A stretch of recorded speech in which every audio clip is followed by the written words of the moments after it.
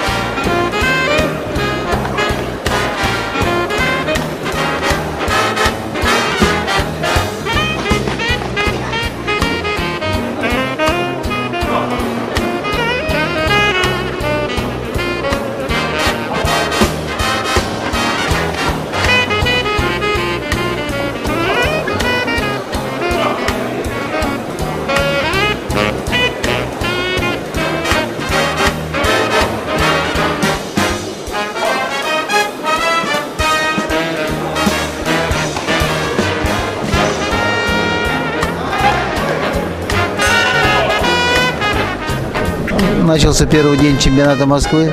Начался очень хорошо. Боксеров 130 человек почти что. Все сильнейшие боксеры Москвы участвуют. Поэтому первый день только начало. Судейство пока великолепное. Залетов никаких нет. Все сильнейшие выигрывают. Ну, только начало. Дальше будет видно. Посмотрим, как.